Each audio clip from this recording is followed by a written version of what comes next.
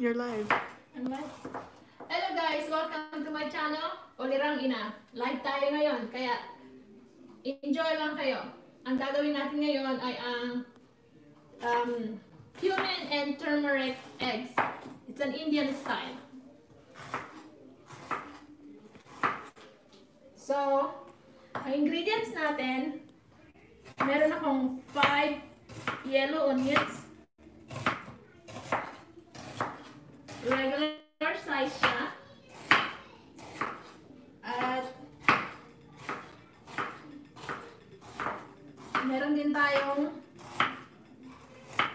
tomatoes from my garden. Hindi siya perfect, but it's okay. It's really good. At meron din tayong 5 eggs.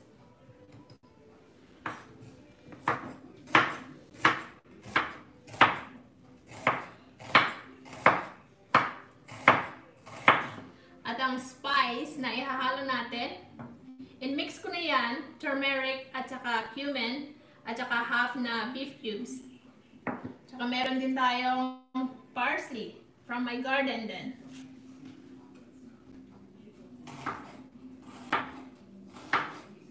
So, very delicious siya. Kasi, ito yung palagi kong lunch. Every time na umuwi ako dito, pag may half an hour akong break, ito ang niluluto ko kasi madali lang siyang lutuin. And it's very delicious, siya.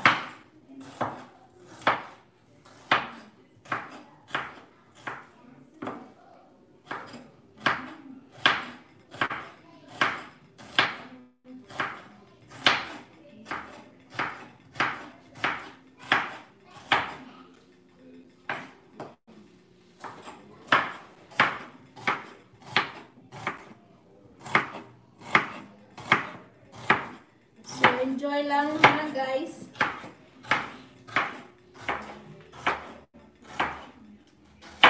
At palagi kayong manood ng aking channel kasi matututo kayo magluto.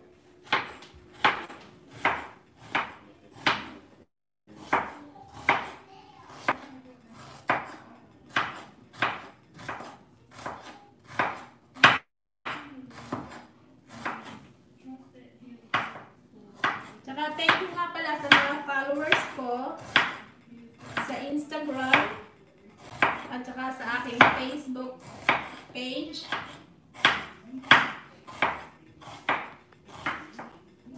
At kung hindi pa kayo nakapag-subscribe sa channel ko, please subscribe, like and share,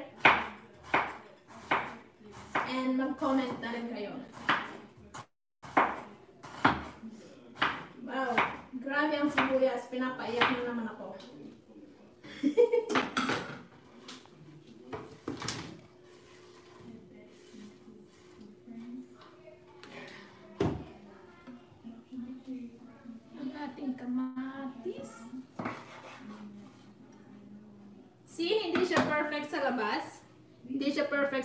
Pero sa loob, perfect siya.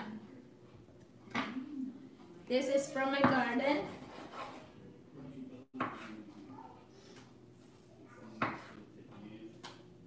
So, iwa-iwain lang natin siya.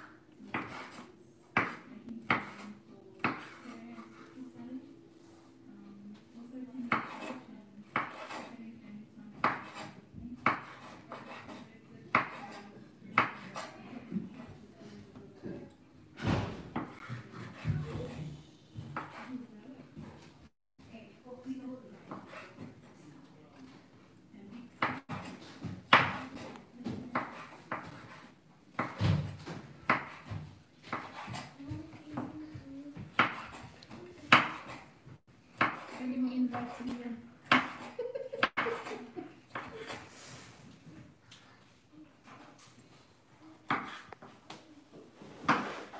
Very blunt.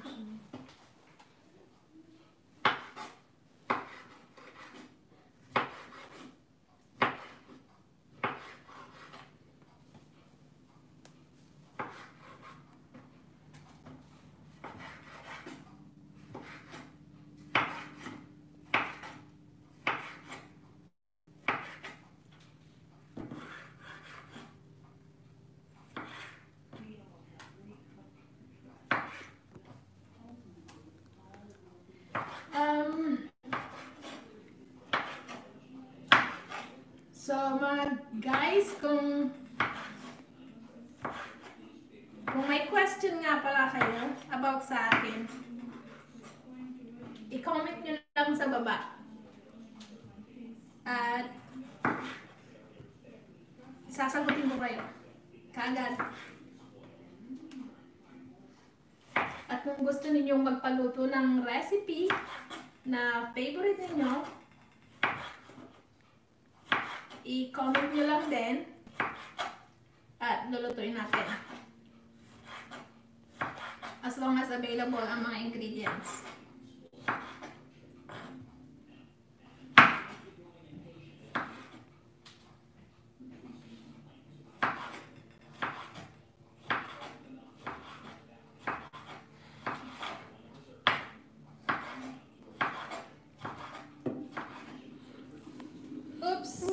Oops! Tumatakbo ang aking itlog. I think they're alive. My eggs are alive. I think they're excited. Excited to uh, be cooked.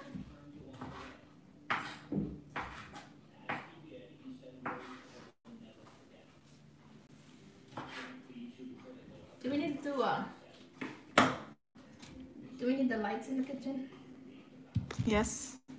I think so. Okay, transfer. See? Ang tomatoes na hindi perfect from my garden. Look at that. It's all plum and red.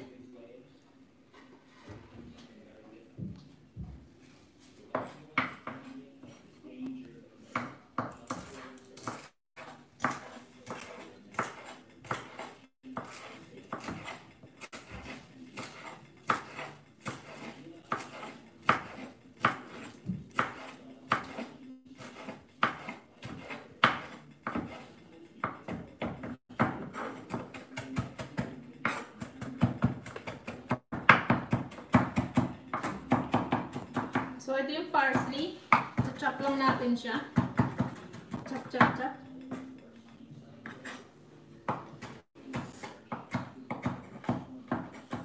There you go. There. Okay. Let's go to my kitchen now.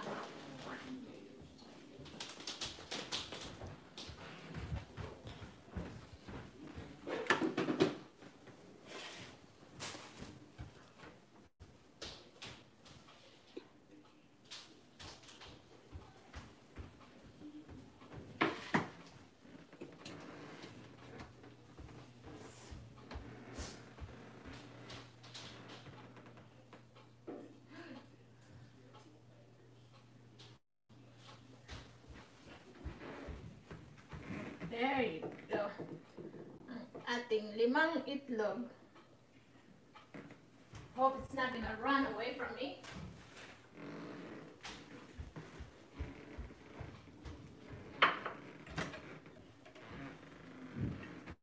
So, lalagyan natin ng olive oil.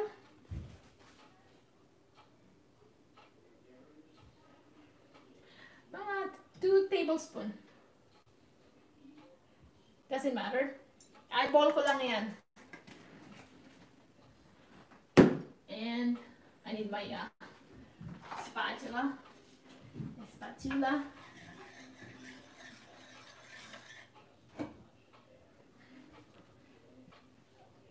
Turn it up a little bit.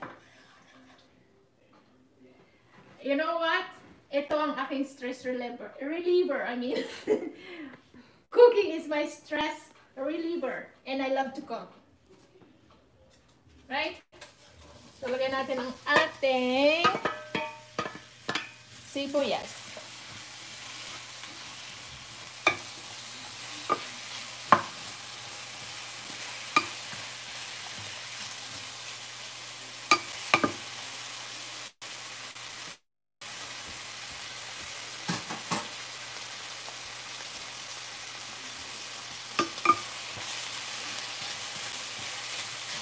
So, igigisa lang natin siya hanggang sa medyo mag-translucent ang kanyang kulay. Nakikita niyo ba ang t-shirt ko? It's a Carabao. What? Carabao. Look at in back. It's Carabao. Good?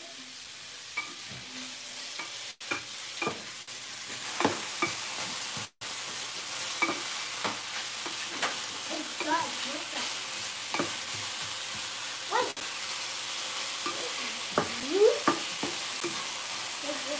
in the back. No, it's a kalabaw. Kalabaw. Kalabaw.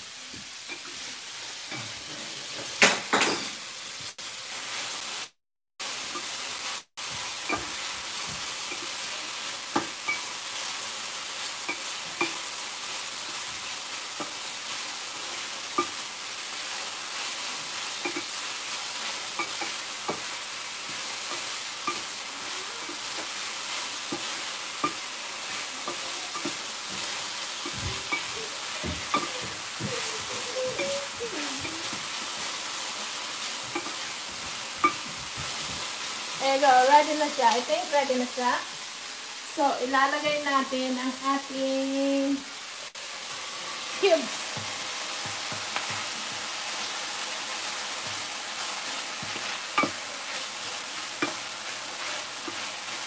At ang combination ng turmeric at saka cumin. There you go. Ooh.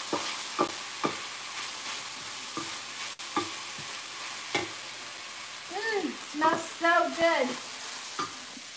Oh, Ooh.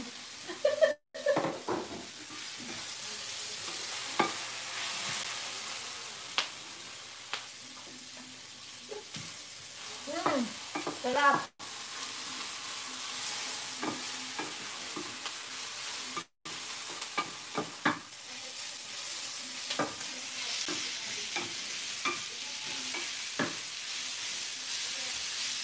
There you go. Halo-halo lang natin siya hanggang sa makop lahat yung sibuyas. Smells good. Then, ilalagay na lang natin ang ating tomatoes. Plum tomatoes. Ooh, look at that.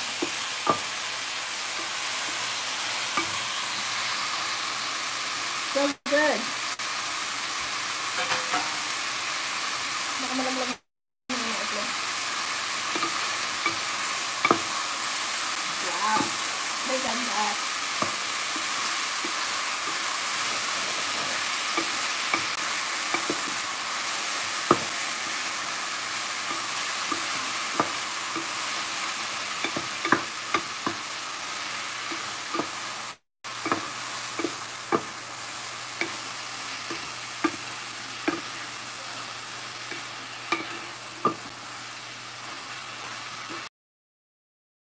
siya. And then, because we have five eggs, may lima tayong itlog. So, gagawa tayo ng limang nest. So, gagawa ko ng limang nest. Lagyan lang natin siya ng 1, 2, 3, 4, 5. Yan ang nest.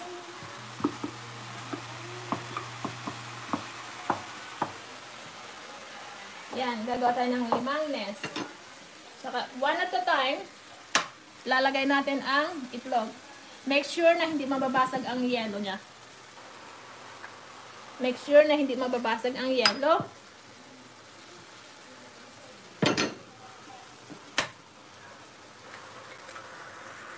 There you go.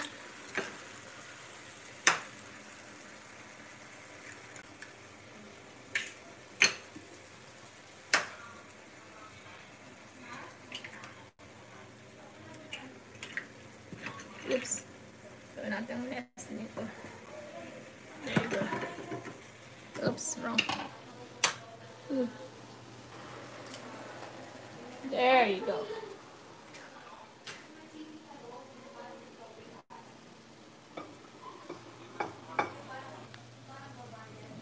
There. Yan. Kailangan makikita natin pagluto na yung yung puti ng itlog kailangan hindi na siya clear. At saka huwag mo lulutuin yung itlog na overcook. It's only half cook yung, yung yellow. Kailangan half cook lang yan. Pero yung white niya, kailangan maluto natin lahat yan. So, ang gagawin natin, tatakpan natin siya.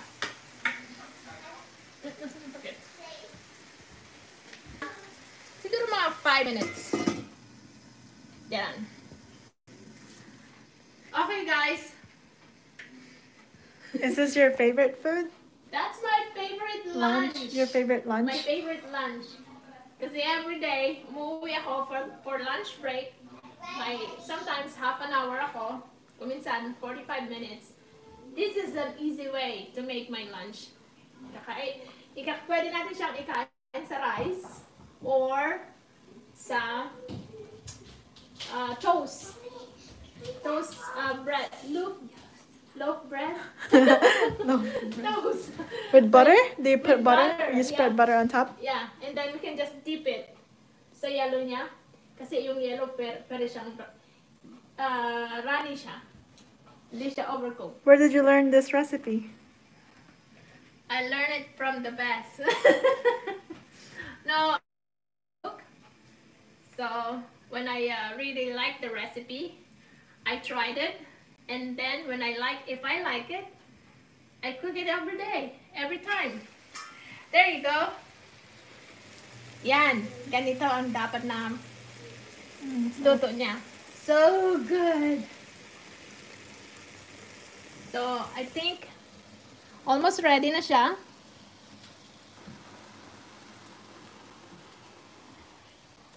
So, ngayon ang gagawin natin, itatakpan natin yan at ito-turn off na natin. Ito-turn off natin and then ilalagay natin ito sa ibabaw. Ang ating parsley, galing din sa aking garden. It's nice to have a garden. There you go. Wow. Looks delicious, eh?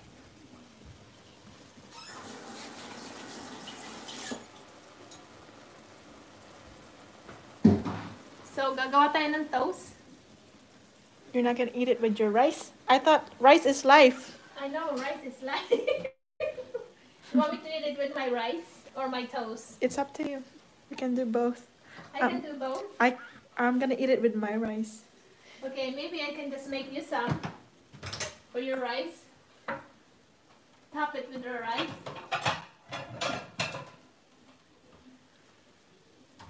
Hold on. This one aside. So you're gonna eat it with toast? No, I thought you're gonna eat it with your rice. Yeah. Okay, um, get you some rice.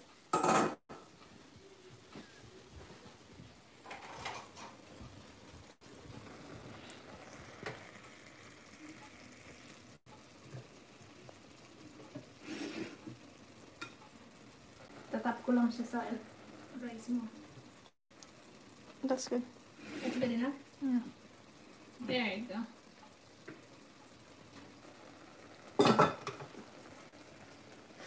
Whew. Oh, make sure na hindi siya.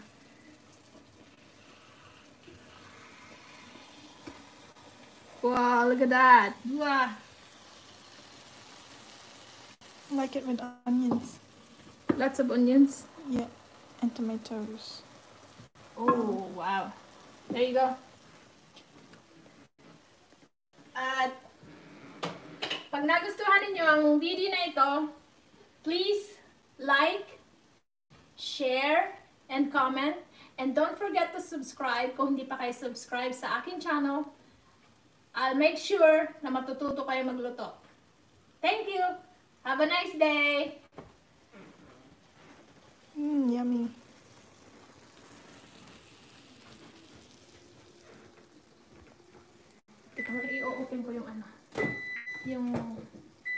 End this now. Hold on, hold on, no. Kasi i-open ko yung runny na itlog. Okay. See yung runny? Wow! There you go. Wow, looks so good. I'm so hungry. There you go. Thank you guys. Love you all.